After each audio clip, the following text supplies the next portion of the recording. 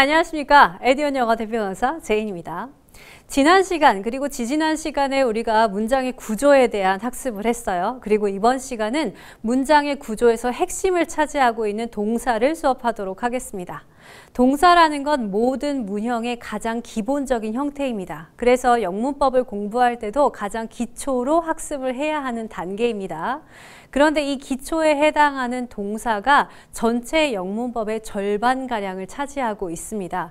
따라서 여러분들이 어법 문제를 푸실 때에도 절반가량은 최소한 동사에서 출제가 되고요. 그리고 우리가 구문 독해를 할 때도 동사에서 막히는 경우가 많이 있습니다. 따라서 이번 시간까지 우리는 영문법의 기초를 만드는 시간으로 가질 건데 그 중에서 동사를 공부하는 이 시간을 통해서 많은 그러니까 글을 쓰는 방법과 더불어서 어법을 보는 보는 능력도 기를 것이고 또 또 다른 많은 구문들을 읽을 수 있는 능력도 갖게 되실 겁니다. 자, 그럼 동사에 대한 학습을 본격적으로 시작해 보도록 하겠습니다. 우리가 1강과 2강에서도 동사에 대한 이야기를 했어요. 동사의 어원이 뭐였죠? 우선 동사라는 말은 무슨 뜻이었습니까? 동사는 움직일 동자를 써서 움직임을 나타내는 품사다라고 한자어로 우리가 나타내고 영어로는 verb라고 표현했는데 그 verb의 어원이 word라고 했어요. 말하는 것, 단어 아니면 imper이라는 단어를 써서 가하다, 영향력을 행사하다 이런 뜻을 갖고 있었죠. 자, 동사는 문장 내에서 주어가 행하는 어떤 행위를 나타냅니다. 그래서 동사라는 것은 자 여기다가 제가 조금 정리를 해볼게요. 동사라는 것은 주어의 동작이나 상태를 나타낸다 우리가 이렇게 학습을 했죠. 그리고 3강에서 자세한 수업을 할 거라고 제가 예고를 했던 대로 오늘 자세한 얘기를 하겠습니다. 이 동사라는 것은요. 기본 3형이 있어요. 기본 3형. 뭐냐 하면 동사가 변화하는 형태입니다. 여러분들이 사전을 찾아보시면 이 사전에 동사 원형만 나오지 않죠. 이 동사 원형의 과거형도 나오고 과거 분사형도 나와요. ing형도 나올 거고요. 이렇게 동사가 변화할 수 있는 걸 지금 공부를 하는 겁니다. 사실 이 동사가요. 과거형만을 공부해서 이 문형을 배우지는 않습니다. 앞으로 동사를 끝내고 나면 여러분들이 만나게 되실 분사라는 것도 동사를 변형시켜서 만드는 거고 또 준동사 혹은 투부정사 이런 것들도 동사를 변형해서 만들어요. 그러니까 모든 거의 모든 동사가 쓰이는 것들은 그러니까 동사는 문장에서 가장 중요한 역할을 할 수 있고 또 많은 부분으로 파생될 수 있다는 거죠. 그래서 동사의 문형도 익히고 가려고 합니다. 이 동사의 형태는요. 기본적으로 3형이 있어요. 세 가지 형태가 있는데 동사의 원형 그리고 과거형, 과거 분사형이 있습니다. 과거 분사형은 보통 PP라고 나타내는 이 과거 분사형은 과거형과 굉장히 비슷하게 생겼어요. 그래서 동사 원형에서 뜻을 보시면 동사 원형이 어떤 뜻을 갖고 있을 때 그걸 뭐뭐 했다라고 표현하면 과거형이 되고요. 뭐뭐 된이라고 표현하면 과거 분사가 됩니다. 대부분의 경우에 제가 뜻을 쓸까요? 이게 만약에 뭐뭐 하다라고 해석하는 게 동사 원형이라면 뭐뭐 했다 라고 표현을 하는 게 과거형이 될 거고요. 그리고 과거 분사는 뭐뭐 된 이렇게 해석을 할 거예요. 근데 여러분 이거 보면 뭐뭐 된, 니은으로 끝나죠? 그러니까 얘는 명사를 수식하는 형용사의 역할도 할 수가 있어요. 그렇겠죠? 자, 그러면 좀 자세한 얘기는 뒤로 가면서 계속 할 거고요. 동사의 세 가지 변화가 어떤 경우에는 과거형과 과거 분사형이 이렇게 같게 생겼어요. 똑같이 생겼어요. 그런데 어떤 경우에는 얘, 얘, 얘가 다 다르게 생겼어요. 그래서 같은 경우를 우리는 규칙 변화라고 하고 같지 않은 경우를 불규칙 변화라고 합니다. 규칙 변화, 불규칙 변화 어떤 것들이 있는지 한번 살펴보도록 하죠. 자, 동사가 규칙 변화를 한다라고 하면 대부분 동사의 원형에 자, 동사의 원형을 끝에 ed를 붙이면 돼요. Ed를 붙이면 됩니다. 뭐 e가 이미 써져 있다 그러면 d만 붙일 것이고 이렇게 간단하게 표현을 하는데 이 이제 예시를 한번 볼게요. want나 play 같은 동사가 있어요. 그러면 want를 과거형, 과거 분사형으로 나타낼 때 ed 붙이죠. wanted. 이럴 때 ed라고 있습니다. wanted. 아니면 wanted, played, played. 이렇게 ed를 붙이는 게 가장 기본적인 형태예요. 그럼 이미 2로 끝나는 형태는 이미 2가 있으니까 D만 붙이겠죠. 이미 이가 있으니까 d만 붙입니다. 이를 붙이나 마나 이라는 단어는 어, 이라는 알파벳은 발음값이 거의 없는 것과 다름없어요. 발음 기호 이 발음을 보시면 이라고 한국말처럼 이라고 발음하지 않고 어 이렇게 합니다. 그래서 모음의 소리만 가지고 있기 때문에 발음값이 거의 없어서 이로 이미 끝나는 동사의 경우에 이렇게요. 이로 이미 끝나는 경우에는 d만 붙이면 돼요. loved, lived, loved, lived 이렇게 끝나죠. 자 그러면 자음 플러스 y로 끝나는 동사가 있어요. 자음 플러스 y로 끝나는 경우 예를 들면 study 혹은 try 이런 경우죠. 이럴 때에는 y를 i로 고친 뒤에 ed를 붙입니다. 발음상은 ed가 돼요. 그래서 try, tried, tried, study, studied, studied 이렇게 나타내 줍니다. 자음 플러스 y일 때라고 제가 지금 얘기했어요. 그러니까 모음 플러스 y일 때는 아니에요. 모음 플러스 y일 때는 이거 보세요. 안 바꿨어요. y가 그대로 살아있어요. 그죠? 자음 플러스 y일 때 y를 i로 고칩니다. 그러면 단모음 단자음인 경우는 어떤 경우냐? 자, 어떤 것들은 끝자음을 한 번 더 쓴 뒤에 ed를 붙여요. 그냥 ed를 붙이지 않고 끝자음을 한 번 쓴 뒤에 ed를 붙여요. 자, 이런 경우가 어디 있냐면요. 단모음 단자음으로 끝난다라고 표현을 하는데 이게 무슨 말이냐? 단모음이라는 건 모음이 하나 있다는 뜻이에요. 그러니까 한 번 발음되는 거예요. 그리고 자음이라는 건 뭔지 아시죠? 끝에 끝날 때 끝에 끝날 때 이렇게 자음 모음 하나 자음 하나 이렇게 끝나는 경우를 말해요. 되셨죠? 어, 자음 모음 하나 자음 하나 이렇게 끝나는 경우를 단모음 단자음이라고 표현해서 stopped, stopped 이렇게 나타내고요. drop 같은 경우 dropped, dropped 이렇게 사용을 합니다. 자, 이게 규칙 변화 동사표예요. 그럼 이제 불규칙 변화도 한번 보자고요. 어떤 게 있는지. 자, 불규칙 변화. 어떤 경우에는 조금 전에 본 것처럼 A, B, B 똑같이 과거형과 과거 분사형이 똑같은 경우가 있어요. 그런데 어떤 경우에는 다 다른 경우가 있어요. 또 어떤 경우에는 첫 번째 동사 원형하고 과거 분사가 같은 경우도 있고요. 아예 과거형과 과거 분사 동사 원형이 똑같은 경우도 생깁니다. 이건 암기할 수밖에 없는데 다행히도 쉬운 단어들입니다. 자, 볼게요. A, B, C형 볼까요? C, 보다라는 동사는 saw가 과거형이고 과거 분사형은 sin이에요. sin 뭐라고 해석할까요? 우리가 아까 과거형은 뭐뭐 했다라고 하고 과거 분사형은 뭐뭐 된이라고 해석한다고 했죠. 이거 뭐뭐 된 이렇게 볼 거예요. 그러면 seen 하면 보여지는 이렇게 해석할 거예요. see 보다, 보았다, 보여진. Do, did, done 하면 했다, 하다, 하다, 했다, 그리고 된. lie, lay, lay 제가 이걸 놓여있다라고 표현을 했죠. 이 헷갈리시는 분들이 많아서 제가 굳이나 썼는데 lie라는 동사에 어떤 뜻이 있죠? 지금 한 것처럼 놓여있다 말고 거짓말하다라는 뜻이 있어요. 거짓말하다. 거짓말하다.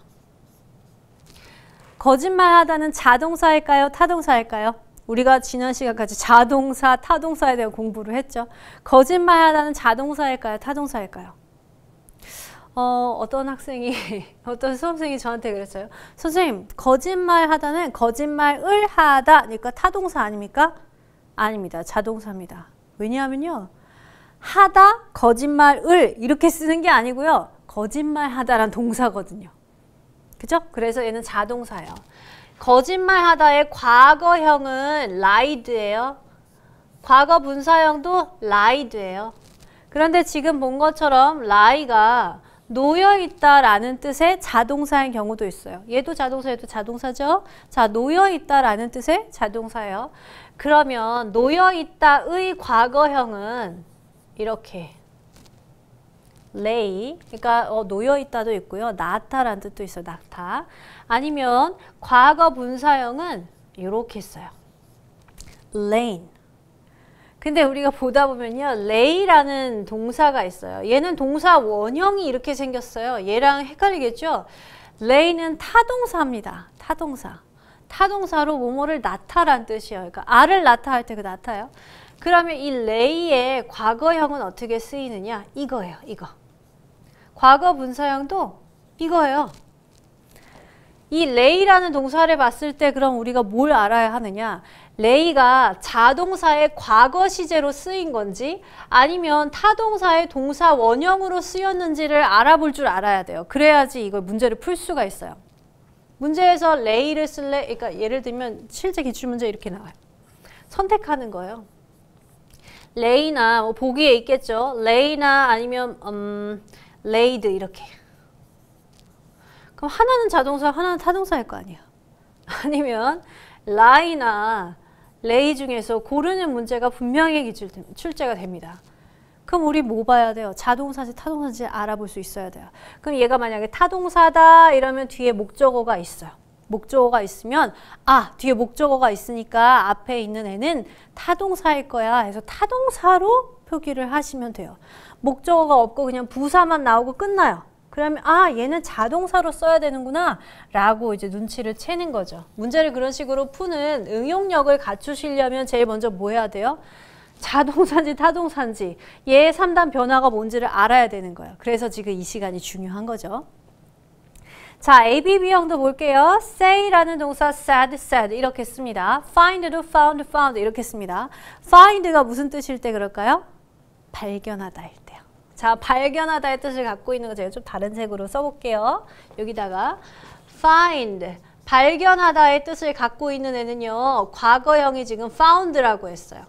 found. 과거 분사형도 found예요.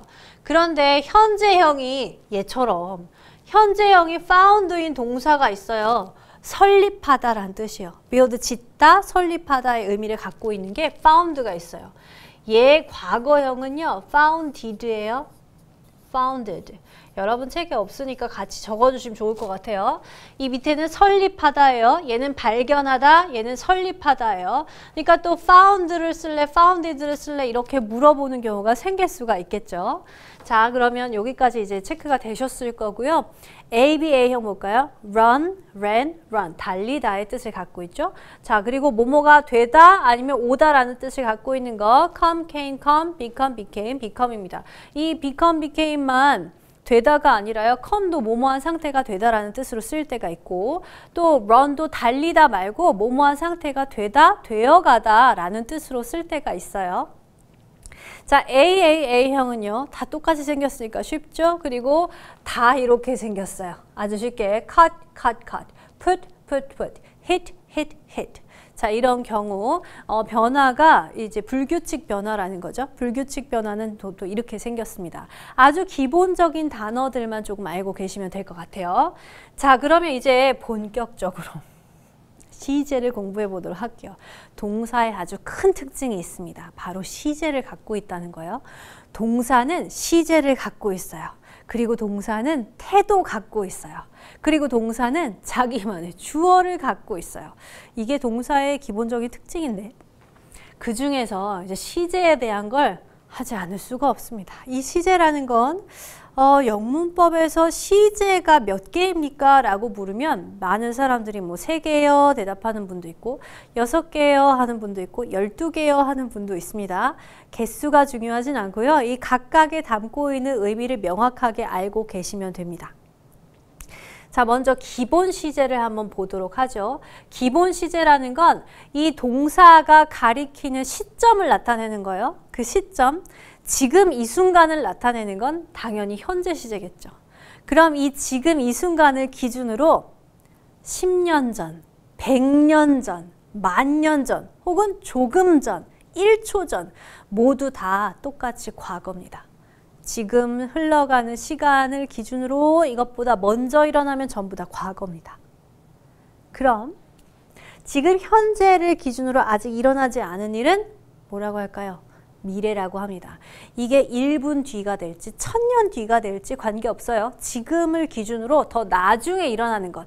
아직은 일어나지 않았고 후에 일어날 일. 이건 모두 미래 시제라고 부릅니다. 그 기본 시제를 아셨죠? 현재를 기준으로 일어나고 있어요. 자, 현재를 기준으로. 그럼 우리가 현재 시제를 공부할 때 알고 있어야 되는 건 뭐냐? 제일 처음에 가장 기본적인 건 일단 주어가 3인칭 단수일 경우에 현재 시제는 동사에 s나 es를 붙인다. 이런 겁니다. 예를 들면 he 그리고 여기 동사를 study 이렇게 써져 있어요. study 그리고 음 그는 영어를 공부한다 이렇게 해볼까요? 자 지금 영어를 공부한다 이런 문장이에요. 그럼 이 study를 어떻게 쓸 거냐는 거죠. 그냥 he study English 하면 안 돼요. 주어가 3인칭이고 3인칭 맞죠? 나랑 너 빼고 나머지는 다 3인칭이라 했죠. 3인칭이고 he는 한 명입니다. 단수. 3인칭 단수일 때 동사는 s나 es를 붙인다는 건데 이게 ed 붙이는 공식이랑 똑같아요. 얘도 d 이렇게 쓰니까 이 y를 i로 고치고 es 붙여요. ed 붙이는 거랑 똑같죠? studies. 그러면 he studies English. 그는 영어를 공부한다. 이렇게 3인칭 단수가 주어일 경우에 동사에 s나 es를 붙인다. 이게 이제 첫 번째 가장 기본적인 틀이고요. 그 다음에 현재 시제를 사용하는 경우가 있어요. 현재 시제를 사용하는 경우. 자, 제가 키워드만 적을게요. 할 얘기가 많아지니까. 주어가 주어가 3인칭 단수인 경우 3인칭 단수 자, 주어가 3인칭 단수인 경우 동사에 s나 es를 붙인다. 요게 지금 한 얘기고요. 이거에다가 또 우리가 알고 있어야 되는 거 현재 시제를 사용해야 되는 그 범위는 어디까지냐 이거죠. 현재 시제. 그러니까 지금 현재 일어나고 있는 일은 당연히 현재 쓰겠죠. 그런데 과거에도 했고 지금도 하고 앞으로도 할 것은 어떨까요? 이것도 현재형입니다. 반복적인 일, 반복. 어떤 일이 계속 반복되고 있어요. 규칙적으로 반복되고 있어요. 아니면 어떤 습관을 갖고 있어서 또 하게 돼요. 계속해서 하게 돼요. 이런 것들. 아니면 변하지 않는 사실이 있어요. 변하지 않는, 변하지 않는 거 불변한다 그러죠. 불변의 진리. 아니면 과학적으로 검증된 과학적 사실. 아니면 가까운 미래, 아주 가까운 미래. 가까운 미래를요, 이렇게 현재형을 쓸 수도 있어요. 또 있어요. 진짜 중요한 건데 이 현재 시제를 쓸 때요. 시간과 조건의 부사절 이런 말 들어보셨어요? 시간과 조건의 부사절에서는 현재 시제가 미래 시제를 대신한다. 어느 문법책을 봐도 지금 한 얘기를 똑같이 써져 있어요. 시간과 조건의 부사절에서는 현재, 현재가 미래를 대신한다. 혹은 현재 시제가 미래 시제를 대신한다. 이게 무슨 소리입니까? 시간과 조건의 부사절. 그러니까 절이래요. 절, 부사, 절이래요. 접, 주, 동 이렇게 써져 있는 절이 있어요. 근데 시간과 조건을 나타낸대요. 시간, 뭐뭐 할 때, 뭐뭐 하자마자 뭐뭐 하, 뭐 하면서 이렇게 시간을 나타내는 애들 있죠. 뭐뭐 하기 전에, 뭐뭐 하기 후에 이거 전부 시간과 관련한 거죠. 아니면 조건, 뭐뭐 한다면, 뭐뭐 하지 않는다면 이런 거 조건이라고 해요. 이렇게 시간과 조건을 나타내는 부사의 역할을 하는 주어 동사 절에서는 현재 시제를 사용하면 그걸 미래로 해석하라는 얘기예요. 현재 시제가 미래 시제를 대신한다라는 소리는 현재 시제로 써놓고 미래 시제처럼 해석하라는 소리입니다. 이렇게 모든 영문법에 다 그렇게 써져 있어요. 이렇게 복잡하게 써놓으니까 다 헷갈리죠, 그죠? 자, 시간과 조건의 부사절에서는 현재 시제가 미래 시제를 대신한다. 이런 얘기가 있어요. 이걸 잘 보셔야 됩니다, 이거.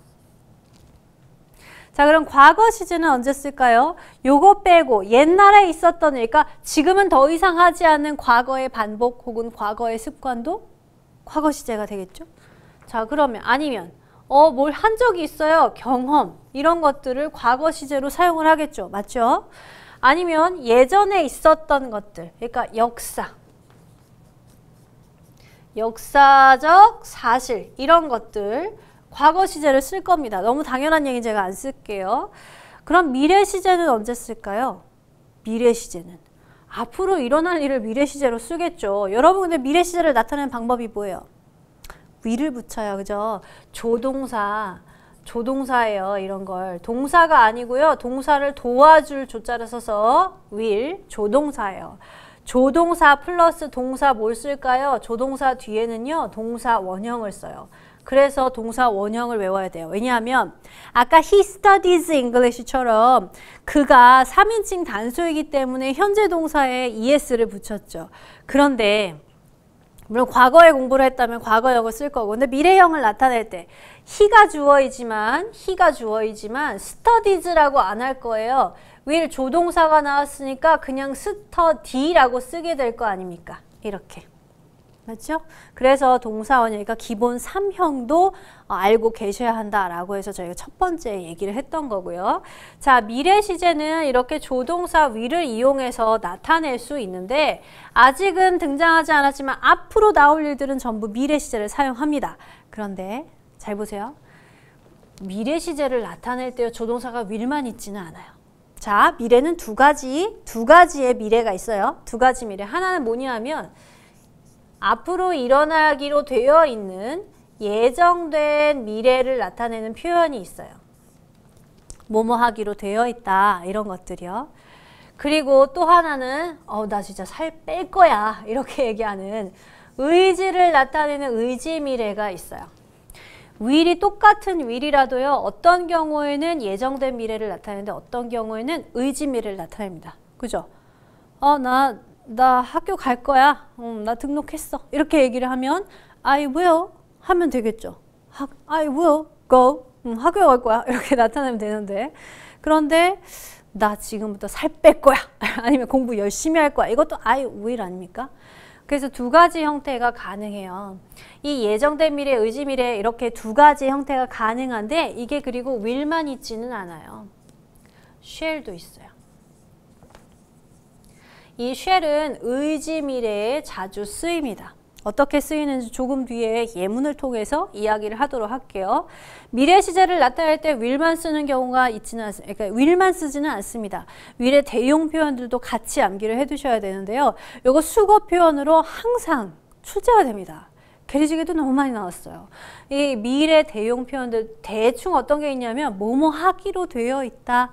be going to. 아니면 막 뭐뭐 하려고 했다. 뭐뭐 하려던 참이다. be about to 아니면 뭐뭐 하기로 되어 있다. be supposed to 이런 구문들이 있어요. 구문 이따가 써 있으니까 지금 다 안 쓸게요. 이제 이런 미래 시제의 대용 표현들도 같이 알아두셔야 합니다. 이게 우리가 기본적으로 알고 있어야 하는 3시제예요.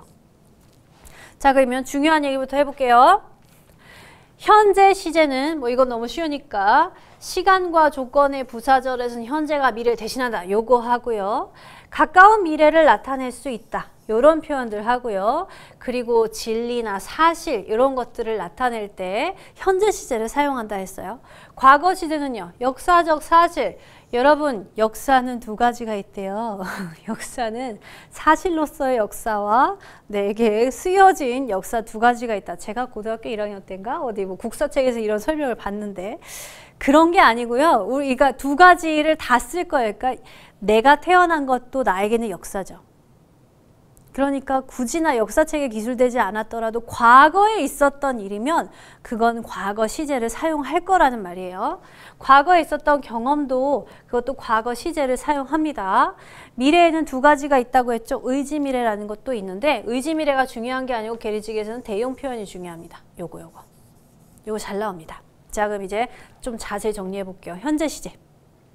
현재 시제를 언제 사용한다고 했어요? 불변의 진리. 과학적 사실, 뭐 현재 일어나고 있는 일들, 습관, 반복적인 습관 당연한 얘기죠. 그리고 가까운 미래의 대용 표현도 사용할 수 있다라고 했고 시간과 조건의 부사절도 어, 현재형으로 사용을 하지만 미래를 나타낸다 이런 얘기도 있었어요. 자 그럼 여기 한번 볼게요.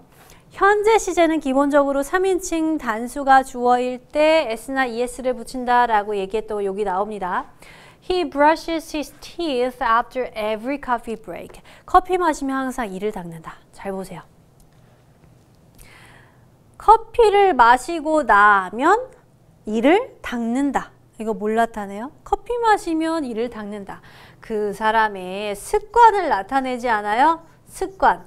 반복 혹은 습관. 자, 반복되는 습관을 나타내면 이렇게 현재 시제를 사용하는 거예요. 그럼 pure water boils at 100 Celsius degrees. 음, 순수한 물은 100도씨에서 끓는다. 어떻습니까? 이거 과학적 사실이 되겠죠. 자, 과학적으로 입금, 이, 입증된 과학적 사실, 불변의 진리 이런 것들도 현재형을 사용해요. 왜냐하면 과거에 발견했을지라도 지금도 적용이 되고 앞으로도 적용될 것이기 때문에. 그래서 변하지 않는 사실은 현재형을 사용하는 거예요. Let me know if she calls. 그녀가 전화를 하면 알려줘. 뭐뭐 하면 알려줘. 라고 하는 이 if는 만약에라는 뜻을 갖고 있는 조건절이에요. 시간과 조건의 부사절에서는 현재가 미래를 대신한다. 현재 시제를 쓰고 미래로 읽는다. 이런 뜻이라고 했죠. 자, 절입니다. 주어 동사가 들어있으니까 절이에요. 그런데 if가 만약에 라는 뜻이니까 조건을 나타내는 절. 그래서 조건절이에요. 지금 보시면 동사가 이렇게 s를 붙여놨네. 현재형이죠. 그러면 현재형이에요. 3인칭 주어가 단수니까 여기 s나 es 붙이는 거예요. She calls. 그녀가 전화를 한다면 알려줘 라는 문장인데 뭐뭐 한다면 시간과 조건의 부사절에서는 현재 시제로 쓰고 미래 시제로 읽는다 라는 구문이 여기 등장하는 겁니다. 자, 현재 시제 가장 흔한 패턴을 보셨어요? 그럼 이제 과거 시제도 보죠. 과거 시제 언제 사용한다고요? 역사적 사실. 그리고 과거의 경험 물론 과거의 습관, 과거에 있었던 일 다 쓸 수 있죠.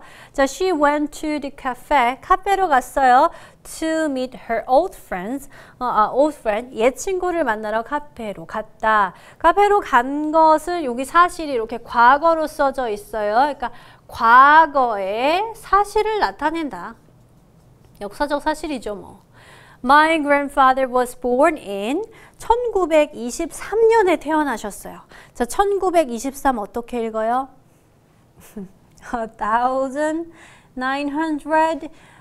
1923? 아, 물론 그렇게 읽어도 돼요. 그런데 그런데 이거 이제 두 개씩 끊어서 읽으면 편합니다. 1923 이렇게 네 자릿수는요 두 개씩 끊어 읽으시면 편합니다. 자 어쨌든 우리 할아버지는 1923년에 태어나셨어요. 태어난 거 어때요? 과거에 있었던 일이죠. 과거에 그때만 태어난 거죠. 할아버지가 계속 태어나고 있진 않잖아요. 그래서 이렇게 과거 시제를 써야 돼요. 역사적 사실, 경험을 나타낼 때 이렇게 과거 시제를 쓴다는 거 잘 명심해 두시고 미래 시제로 갑니다. 미래 시제는요. 미래 시제는 조금 전에도 얘기했지만 의지 미래라는 것도 같이 있어요. 그죠? 의지 미래에 쉐를 씁니다. 라고 하면서 제가 예문 여기다 넣어놨어요. Shall we dance? 우리 함께 춤출까요? 이렇게 상대방에게 의지를 물어보는 거죠. Shall we dance? 그러면 상대방이 춤을 출지 안 출지를 결정할 수가 있겠죠. 그 사람의 의지에 달려 있습니다. 의지미래요. I will study harder. 나 더 열심히 할 거야. 이것도 나의 의지를 나타내는 게 되겠죠. 자, 의지미래입니다. 이것보다 대용 표현을 알고 있어야 합니다. 대용 표현들, 미래 대용 표현들. 그러니까 미래 시제를 우리가 흔히 알, 아는 것처럼 위를 쓰는 게 아니라요. 그냥 다른 동사처럼 생겼는데 미래로 해석하는 애들 혹은 미래 시제 대신 사용할 수 있는 애들이 있어요. 그 중에 중요한 애들만 제가 대표적인 거 출제가 자주 되었던 애들 모아봤어요. 비동사 쓰고 going to, be going to. 이게 I에 맞추면 am이 되고 she에 맞추면 is가 되고 그런 거죠. 뭐 과거형이 되면 was going to 이렇게 됐을 거고. 자, be going to 하면 뭐뭐 할 것이다 라는 미래 대용 표현이에요. 뭐뭐 할 것이다. 안 적을게요. 여러분 책에 뜻 써놨습니다. 뭐뭐 할 것이다. 그러면 비동사 쓰고 was about to 얘는 무슨 뜻일까요? be about to 막 뭐뭐 하려고 하다요. 막 뭐뭐 하려고 하다. 여러분 책에는 해석으로 막 뭐뭐 하려던 참이다 이렇게 써져 있죠. 막 뭐뭐 하려고 하다 이런 표현이요. 어, 잘 모르시면 이제 적으시면 됩니다. 막 뭐뭐 하려고 하다. 비동사 다음에 suppose to 얘는요. 뭐뭐 하기로 되어 있다. 뭐뭐 하기로 되어 있다. 그러니까 미래를 나타내는 거 맞죠? 뭐뭐 하기로 되어 있다. You're supposed to be here. 너 여기 있기로 했잖아. 이런 뜻입니다. 전화해서. 왜 안 나타났어? 여기 있기로 했잖아. 이렇게 표현할 때 쓸 수 있겠죠. 그런데요. 여기서 하나 짚고 넘어갈 게 있어요. 자, 의지 미래 혹은 어, 단순 미래도 괜찮아요. 이렇게 미래를 나타낼 때는 기본적으로 조동사 will을 사용해요. will, 그리고 뒤에 뭐 쓴다고요? 동사 원형 쓰기로 했죠. 이 will의 역할을 해주는 대용 표현도 will이랑 같은 의미를 갖겠죠. 그러니까 will이랑 같은 의미를 갖고 있는 대용 표현 뒤에도 동사를 어떻게 쓸까요? 원형으로 쓸 거예요. 그래서 지금 보시면 be going to start 동사 원형 was about to call 동사 원형 you're supposed to be 동사의 원형 썼습니다. 이해되시죠? 자 이렇게 기본 3시제를 정리를 한 거예요. 이 기본 3시제를 기본적으로 구사할 줄 아시면 이제부터 문제로 출제되는 분야로 들어가 봅니다. 바로 완료 시제예요. 완료 시제가 갖고 있는 의미는 뭐냐면 기본 시제를 갖고 기본 시제의 확장이라고 보시면 돼요. 확장. 활장이 아니고 확장. 자, 기본 시제의 확장편을 완료 시제라고 보면 됩니다. 자, 우리가 기본 시제, 그러니까 지금 이 순간을 현재라고 부르고 지금 이 순간보다 먼저 있었던 걸 과거라고 하고 지금 이 순간보다 나중에 일어날 일을 미래라고 해요. 근데 이게 확장이 됐다는 건 무슨 의미일까요? 지금 이 순간인데 지금 이 순간이 포함된 나중까지 아우르는 시간. 아니면 지금 이 순간이 포함된 과거까지 포함하는 시간. 이렇게 단 하나의 의미가 아니라 이것을 약간 이제 확장을 시켜 놓은 걸 완료 시제라고 불러요. 볼까요? 아, 우리 요즘에 베란다 확장 많이 하잖아요. 그죠? 발코니 확장도 하고 아파트 공간 거실이 요만해. 그 여기가 이제 베란다 혹은 발코니예요. 그럼 이렇게 따로따로 사용하는 공간이 있어요. 근데 만약에 이걸 확장을 해요. 그럼 이만큼까지 이만큼까지 사용을 할 수가 있겠죠. 뭘로? 원래 있었던 거실로 사용하잖아요. 그러니까 기본 시제가 여기가 이제 기본 시제인 거예요. 기본 시제와 영역이 달랐어요. 여기는. 그런데 이 기본 시제를 여기까지 확장을 한다고요. 그러니까 원래 기본 시제가 갖고 있는 현재 또는 과거 혹은 미래 이렇게 현재만 과거만 미래만 사용하던 것들을 조금 더 넓은 범위에서 사용할 수 있는 게 완료 시제예요. 그럼 시간이 만약에 시간이 이렇게 계속 흘러가요. 자, 째깍째깍 갑니다. 현실, 현실, 현실, 현실 시간이 가면서 1초 1초 가면서 계속 현실이 이제 뒤로 가겠죠. 어떤 기준점을 가지고 현재라고 봅시다. 자, 지금 이 순간이에요. 그러면 전에 우리가 했던 기본 시제는 지금 이 순간 아니면 이거보다 먼저 일어나는 거, 뭐 여기든 여기든 여기든 관계없이 현재를 기준으로 먼저 일어나는 걸 과거라고 했어요. 과거. 현재를 기준으로 뭐 여기든 여기든 관계없이 미래라고 했어요. 그런데 이게 확장된 개념이다라는 것은 그냥 현재형만 사용하는 게 아니라 여기 현재부터 과거까지 아우르는 시간 아니면 현재부터 미래까지 아우르는 시간 또는 과거부터 그보다 더 앞에 있었던 과거까지 아우르는 시간. 그러니까 일종의 하나의 시제를 갖는 게 아니라 하나의 시제를 다른 시제까지 뻗친 거예요. 이렇게 확장을 한 걸 완료 시제라고 불러요. 이 완료 시제는 한국말에 없어요. 그러니까 완료 시제만 나오면 우리는 어려운 거예요. 머리가 아프고 근데 이 의미를 잘 알고 계시면 그러면 이제부터 이 동사의 참맛을 알게 되실 거예요. 완료 시제를 잘 구사하면 좀 더 세련된 영어를 구사하는 사람이라는 인식을 갖게 됩니다. 원어민들이. 그리고 이 완료 시제를 잘 구사하시면 수많은 어법 문제를 쉽게 풀 수 있으실 겁니다. 현재 완료라는 거는요. 현재에 완료된 거예요. 현재 완료는 현재에 완료된 거. 당연한 얘기죠. 그러니까 현재를 기준으로 현재를 기준으로 현재 끝난 얘기란 얘기죠. 현재 끝났어요. 언제부터 시작했을까요? 현재 끝났으니까 뭐 과거에 시작했겠죠. 과거가 여기서부터 계속된 과거일 수도 있고요. 여기서부터 시작됐을 수도 있고요. 여기서 시작됐을 수도 있고요. 관계없어요. 저는 그냥 이쁘게 그리려고 이렇게 한 거예요. 현재를 기준으로 어떤 사건이 과거 어느 시점에 시작돼서 이만큼 계속 흘러왔어요. 이렇게 이만큼 시간이 흘렀어요.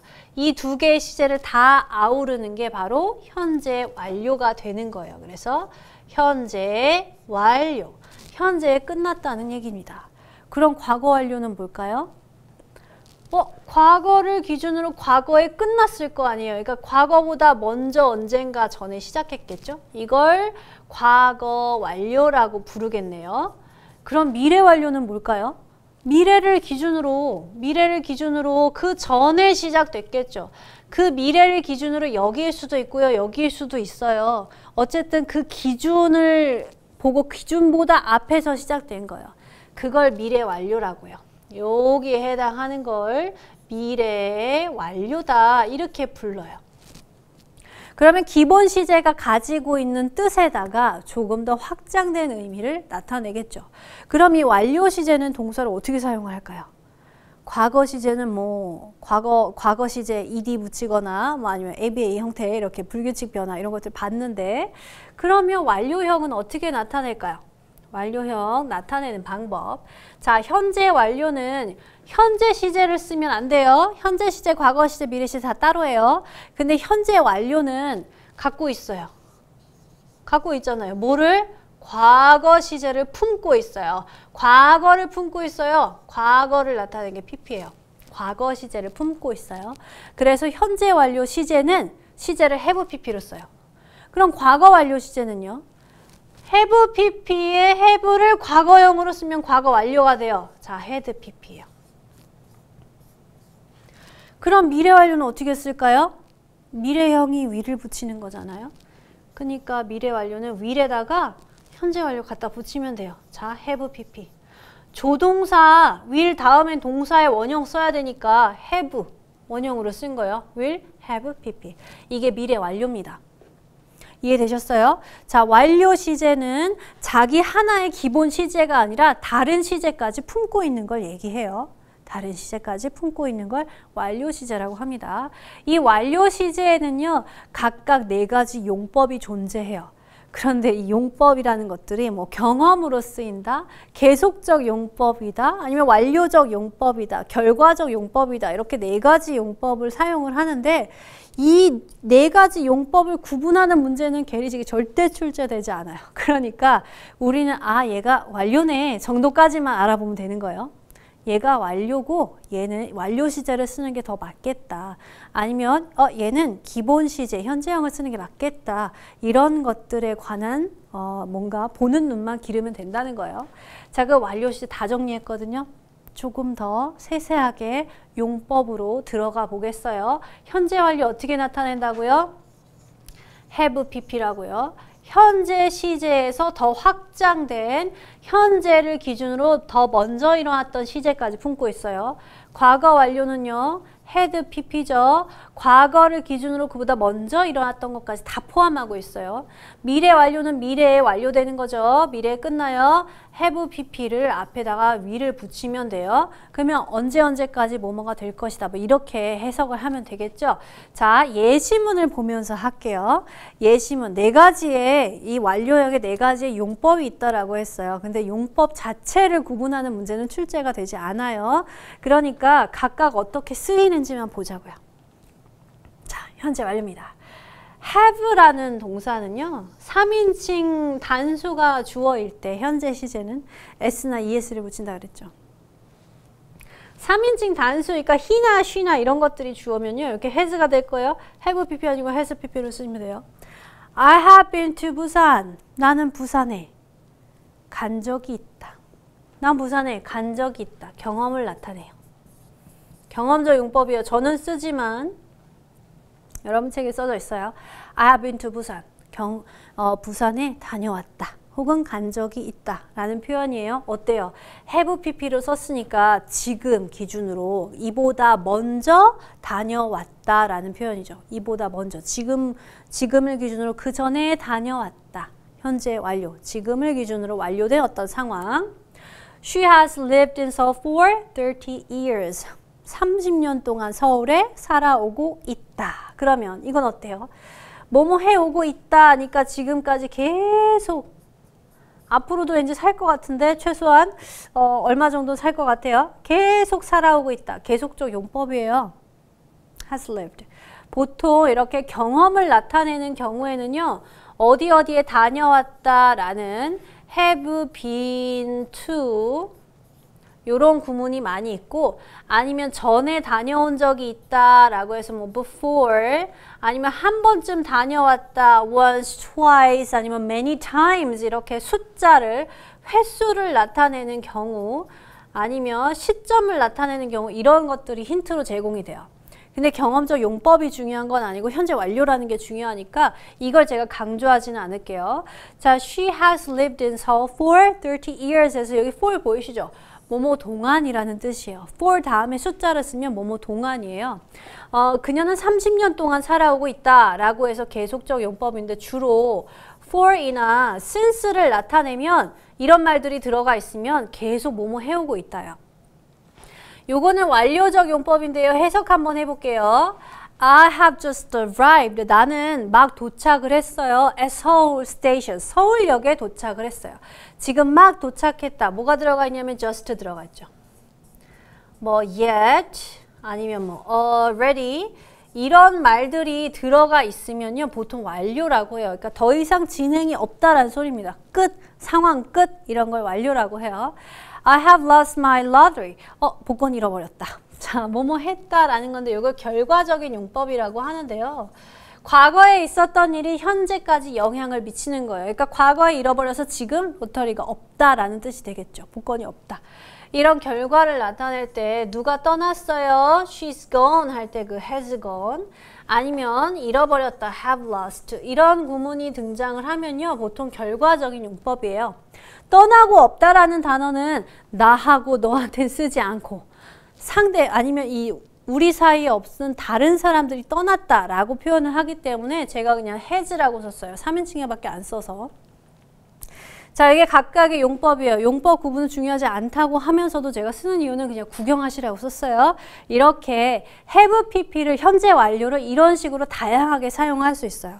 그럼 현재 완료가 뭐예요? 지금 내가 지금 어디 있어요? 부산에 있어요? 없어요? 부산엔 없어요. 다녀왔잖아요. 지금 우리 집에 있겠지 뭐. 이렇게 한 문장만 얘기했는데 과거와 현재의 정보를 동시에 주는 거예요. 이것도 봐요. 그녀는 서울에 30년째 살아오고 있어요. 그러면 과거에는 살았어요? 안 살았어요? 살았어요. 지금도 살고 있어요. 한국말처럼 완료형이었으면 나는 지금 서울에 살고 있다. 30년 전에도 살았다. 이렇게 두 개의 문장으로 나타내줘야 할 텐데 그런데 완료형을 가지고 있으면 30년 전부터 지금까지 살아오고 있다라는 표현을 한 문장으로 나타낼 수 있어요. 그러니까 이렇게 두 가지 정보를 동시에 주는 거죠. 시점이 확장이 된 거죠. 이건 have just arrived. 나 지금 도착했어요. 조금 전에 도착했어요. 두 가지를 동시에 알려주는 문장입니다. 이것도요. 지금은 어, 지금 I have lost my lottery 했으니까 내가 지금 잃어버렸어요. 잃어버린 상태가 지속되고 있어요. 과거에 잃어버렸겠죠? 지금 못 찾았어요. 이걸 두 가지의 문장을 하나로 합쳐준 것 같은 효과를 주는 거예요. 그래서 완료형을 씁니다. 이 현재 완료를 그대로 과거를 기준으로 이렇게 옮겨가는 걸 과거 완료라고 했죠. 과거 완료 볼게요. 자, 과거 완료도 네 가지 용법이 있는데 다 보지 않겠어요? 용법 중요하지 않다고 했으니까. 자, had pp입니다. 어, have pp를 과거형으로 쓰다 보니 have의 과거요. had pp 된 거예요. 과거를 기준으로요.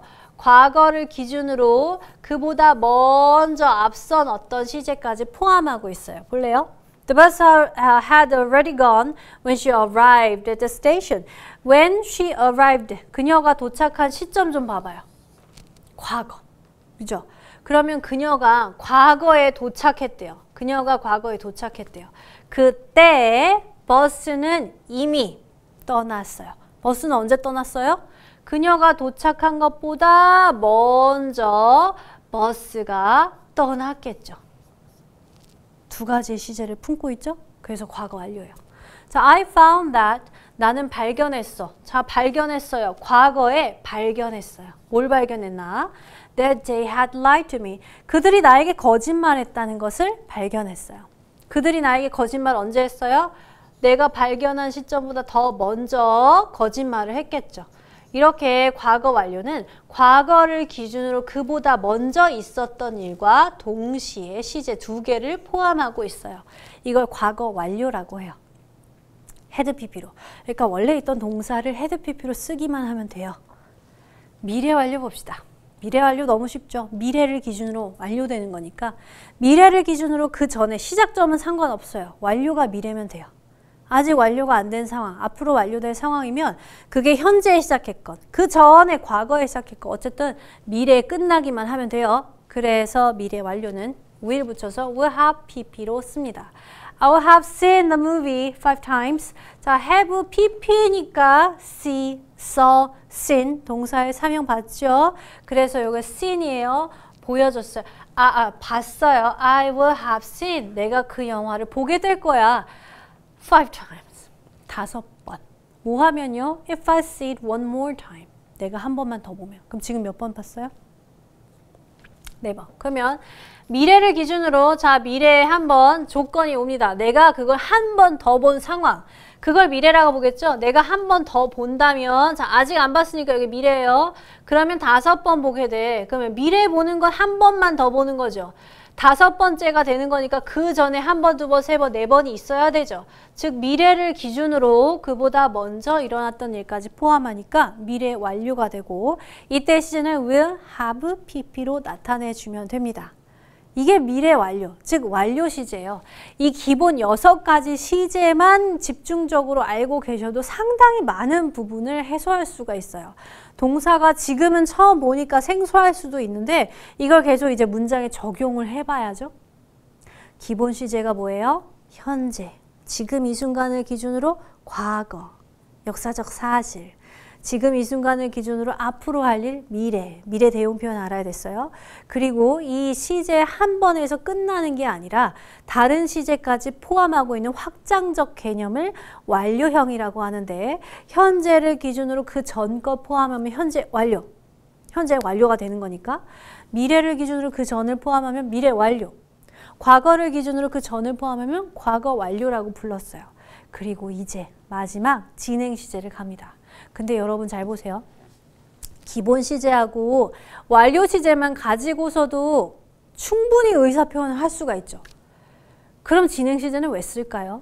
진행 시제가 뭐냐 하면요. 진행 시제는 동사를 비동사 ing로 쓰는 거예요.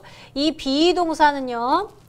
am, are, is 중에서 고르거나 과거형일 때 was, were 중에서 고르거나 미래형이면 will 써서 will be 이렇게 쓰는 거예요. 그리고 나서 ing 쓰면 뭐뭐 하는 중이다 이렇게 해석을 해요.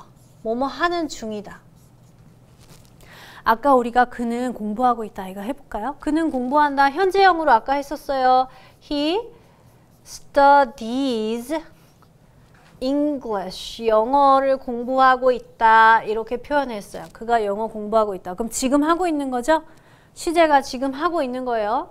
그런데 이걸 진행형으로 쓴다면 자 비동사 he에 맞춰서 이거 현재 시제니까 he에 맞춰서 is studying English 이렇게 쓸게요.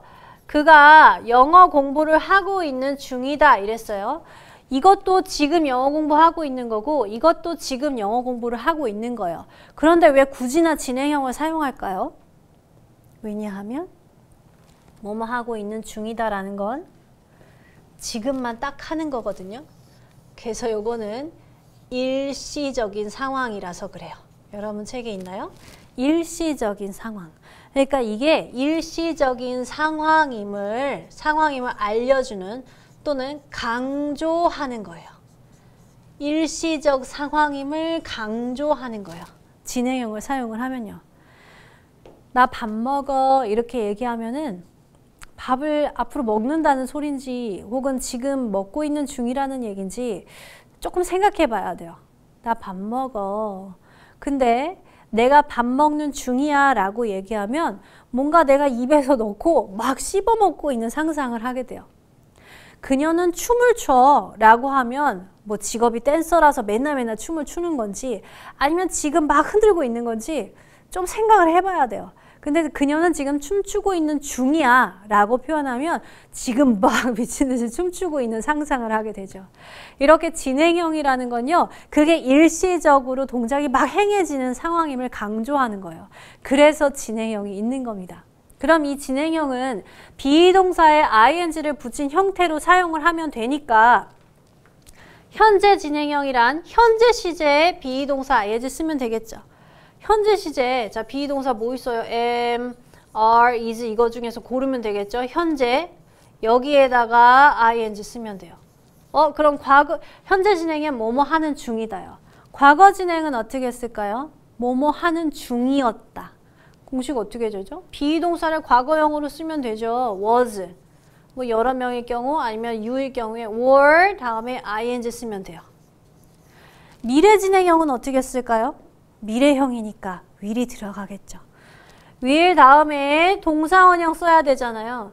비동사의 동사원형은 be예요. will be ing. 해석은 어떻게 해요? 뭐뭐 하는 중이다, 뭐뭐 하는 중이었다, 뭐뭐 하는 중일 것이다. 그러면 우리가 배운 완료 진행 한번 봅시다. 완료 진행. 자, 현재 완료는 어떻게 쓰냐면 have pp였어요. 뭐뭐 해오고 있다 이렇게 표현을 해요. 왜냐하면 현재를 기준으로 그 전부터 일어나는 일이니까 뭐뭐 해오고 있다요. 뭐뭐 해오고 있다. 그런데 이거 진행형으로 하면 뭐뭐 해오고 있는 중이다 이렇게 해석하겠죠. 뭐뭐 해오고 있는 중이다. 여기다 제가 좀 써볼게요. 자, 현재 완료는 have pp예요. 근데 여기에다 뭘 섞을 거냐 하면 진행형인 비동사 ing를 섞을 거예요. 조금 더 학습을 하시면 제가 하는 말이 더 잘 와닿을 거예요. 근데 일단 초 초기니까 기초를 다지는 작업이니까 조금 생소할 수도 있어요. 그래서 집중을 해야 되는 거예요.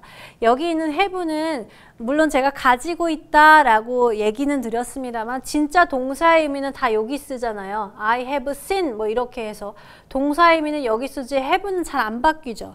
이런 게 일종의 조동사의 역할을 여기서 해주는 거예요. 조동사는 다른 동사로 대체가 안 됐어요. 그래서 have 그대로 내려올 거예요. 비동사를 PP 형태로 쓰면 어떻게 될까요? 비동사의 PP.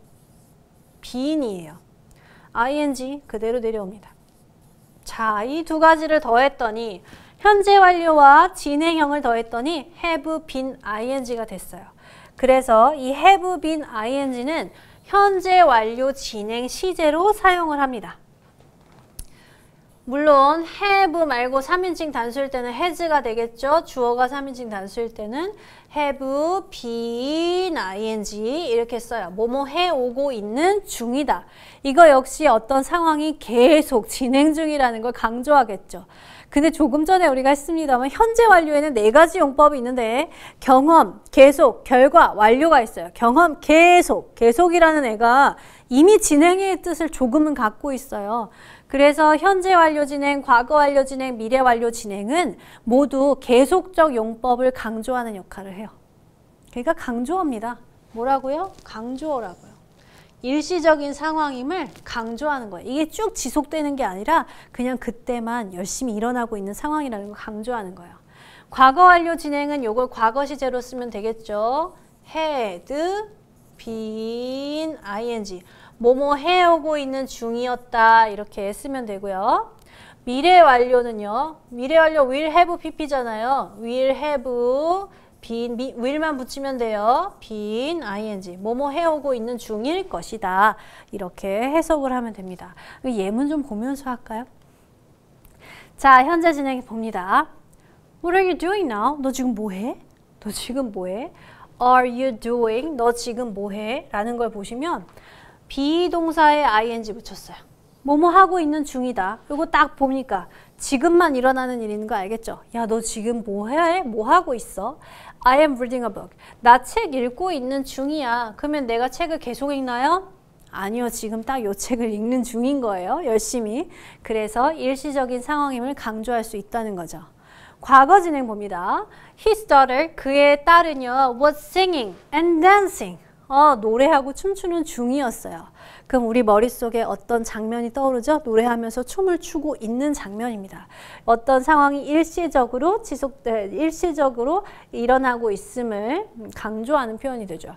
She was cooking. 비동사 ing. 비동사 과거형 썼죠? 그때 그녀는 어 cooking, 요리를 하는 중이었다. 이런 표현이 될 거고요. 미래 진행 봅니다. will be ing 썼어요. will be ing. 우리 개는 My dog will be waiting for me. 나를 기다리는 중일 거야. When I am in the office. In the office. 내가 사무실에 있을 때. 내가 일하고 있을 때 우리 개는 날 기다리겠지. 이런 표현입니다. She'll be cooking for me while I am returning home. 내가 집으로 돌아오고 있는 중에는 그녀는 요리를 하고 있는 중일 것이다. 그러니까 그 시간에 딱 요리를 막 하고 있는 모습을 상상할 수 있어요. 물론 그대로 내가 집에 돌아오고 있을 때 그녀는 요리하겠지 이렇게 표현을 해도 돼요. 그런데 요리하고 있는 중일 거야 라고 하니까 그녀가 바쁘게 요리를 하는 모습을 상상할 수가 있죠. 그래서 뭔가가 일시적으로 진행되는 것을 강조하는 어떤 특성을 갖고 있다라는 겁니다. 완료도 한번 보겠어요. 완료. 과거 완료 진행이 나오네요. 어, 현재 완료 진행 어디 갔지? 자, 현재 완료 진행으로 한번 해볼게요. 요거 have로만 쓰면 되니까 없으니까 이렇게 해볼게요. They have been waiting for their son. 여기까지만 해석하겠습니다. 그들의 아들을 기다려 왔다 이런 표현이에요. 기다려 왔다. have로 쓰면 기다려 왔다. 그런데 이걸 had로 쓰면 기다려 왔다인데 언제까지? 과거까지. 자, 그 이게 have가 됐으면 현재 완료 진행형이 됐으면 헷갈릴까 봐 이렇게 쓸게요. They have been waiting. 그들은 기다려왔다. 이런 표현이 돼요. 과거부터 지금까지 계속 기다려왔다. 그런데 이거를 had로 썼으니까 그들은 기다려왔다. About two hours when he came. 그가 돌아왔을 때라는 과거 시점을 기준으로 주죠. 과거 시점을 기준으로 주죠. 우리가 푸는 문제는 사실 좀 친절해요. 이렇게 과거 시제를 기준으로 주고 그 기준에 맞춰서 생각하게 해줘요. 그러니까 과거가 기준이고 그 과거까지 두시간을 기다렸으니까 과거까지 두시간이니까 앞에 있는 시간을 포함하고 있는 과거 완료 시제임을 알 수가 있고 이때 또 완료 시즌 계속 기다리는 모양, 발을 동동 구리며 기다리는 모양을 해석, 이 뭔가 머릿속에 그려지니까 진행형을 넣어서 과거 완료 진행 시제를 정답으로 찾을 수 있게끔 해줍니다. 동사가 이래요. 미래 완료 진행은요. will have been ing라고 했어요. It will have been raining for 12 days by tomorrow. 내일까지. 이것도 보세요. 너무 친절하게. 미래, 내일까지. 이렇게 알려주죠. 내일이라는 기준을 줬잖아요. 그래서 내일까지, 그러니까 오늘까지는 12일이 아닌 거예요. 내일까지 비가 오면 12날이나 혹은 12일 동안이나 비가 오게 되는 것이다. 라고 표현을 해주는 겁니다. 자, 이렇게 시제 정리를 한 거예요. 시제 동사가요, 음, 지금 제가 빠르게 얘기를 해서 그렇지 그렇게 복잡하지는 않아요. 그런데 굉장히 복잡해 보이죠. 기본적인 체계만 잘 이해를 하고 계시면 거기다가 동사를 변화시키기만 하면 돼요. 예를 들어서 make라는 동사가 있어요. make. 만들다죠? 자, 만들다요. 만약에 3인칭 단수가 주어라면 make는 makes, s가 붙었을 겁니다. 2로 이미 끝나니까 s만 붙였겠죠? 자, 이걸 문장 내에서 여러분들이 기본 시제인 make를 이렇게 변형해서 사용할 수 있어요. 이 예시를 준 겁니다. 해볼까요? I make a film. 내가 영화를 만들어요. 이런 문장이에요. 영화를 만든다. 자, 현재형으로 사용했습니다. 그러면 현재형으로 사용했으니까 이거 무슨 의미를 갖고 있어요? 계속된 어떤 습관, 아니면 반복적인 작업 이런 것들을 나타내는 게 되겠죠. 물론 현재형을 여기만 쓰지는 않죠. 미래 대용 표현도 쓸 수가 있고 과, 어, 떤 가까운 미래를 나타내는 거나 아니면 시간과 조건의 부사절도 현재형을 사용할 거고 또 계속적인 어떤 습관도 나타내겠고 자 과거형으로 썼어요. 그러니까 이거 무슨 소리예요? 과거의 경험이죠. 나 영화 만들었지. I made a film. 됐나요? 과거 시제로 썼어요. 미래형으로 나타내면 뭘 붙여요? 조동사 미래 동사 원형에서 will make a film. 나 영화를 만들겠어. 나의 미래에 이번에 의지를 나타내네요. 완료 시제 봅시다. 완료 시제는 시제가 두 개라 그랬어요. 그러니까 시제가 다른 시제까지 포함하고 있는 개념이다. 그래서 have pp라고 했는데 현재 완료 have pp. I have made a film. 내가 영화를 어떻게 해요? 지금을 현재를 기준으로 지금을 기준으로 전부터 만들어 온 거예요. 그러니까 have made는 무슨 얘기냐면 과거부터 지금까지 영화를 만들어 오고 있다. 이렇게 만들어 오고 있다. 과거부터 지금까지 만든 거예요. 여기는요. I have made a film. 만들었다라는 표현인데요. 과거를 시점을 기준으로 해서 과거 시점 기준으로 그 전부터 만든 거예요. 현재는 안 만들어요. 왜냐하면 과거 시점에 끝났으니까 과거를 기준으로 그 전부터 영화를 만들었다 이렇게 표현이 되겠죠. 이건요. 지금 영화를 만들고 있는지 아니면 나중에 시작할지 몰라요. 아니면 과거에 시작했을 수도 있어요. 그런데 어쨌든 끝이 언제나요? 미래에 나는 미래 완료예요. 영화를 만들겠다. 혹은 영화를 만들 것이다. 혹은 영화가 끝날 것이다. 이런 표현들을 이렇게 할 수 있습니다. 미래를 기준으로 나타내는 거죠. 여기에다가 자 이렇게 기본 시제를 확장한 완료 시제까지 하면 진행 시제는 비동사 ing를 섞기만 하면 된다라고 했어요. 제가 살짝 가려볼게요. 자 현재 완 현재 진행형 어떻게 씁니까? am, are, is에 making ing 쓰면 되겠죠. 그래서 I am making a film 이렇게 돼요. 과거 진행 어떻게 했습니까? I was making a film. 나 그때 영화 만드는 중이었어. 어, 이렇게. 미래 진행 어떻게 했습니까? will be ing죠. 그래서 I will be making a film. 그러면 현재 완료 진행 어떻게 해요? 현재 완료. have been ing였어요. I have been making. I have been making a film. 과거 완료 진행은 어떻게 합니까? I had been ing잖아요.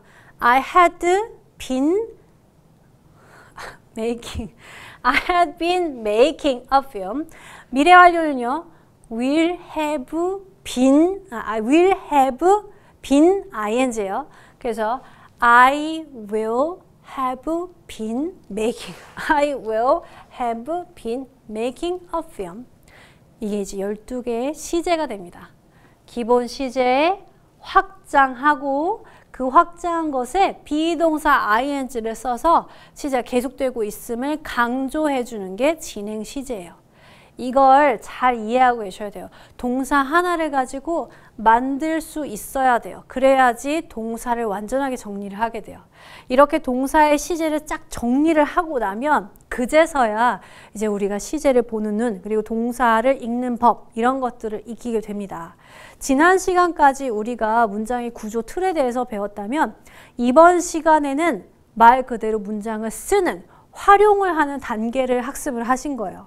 이 활용 단계의 기초를 잘 다지고 계시면 다음 시간부터는 이제 정말 실용적으로 실제 기출된 지문들을 가지고 공부를 할 거거든요. 그때 제가 하는 설명들을 아 이거 아 저거 이렇게 바로 알아드실 수가 있을 겁니다. 알아들으실 수 있을 겁니다. 자 그러니 기초를 다지는 건 이쯤 하고요. 동사를 조금 복잡해 보입니다만 구조는 단순해요. 그러니까 이 단순한 구조를 잘 숙지를 하시고 다음 시간 실용적인 패턴으로 뵙도록 하겠습니다. 이 강좌는요. 실용 패턴을 가지고 있어서 이 패턴을 반복하기만 하면 아주 쉽게 영어를 정복할 수 있도록 구성이 되어 있습니다. 그런데 이, 이걸 하려면 일단 기초적으로 좋은 텃밭을 만들어야 된다라고 제가 일각에서 말씀드렸죠. 이 세시간간의 수업에서 좋은 텃밭을 만들기 위한 걸음을 뿌렸습니다.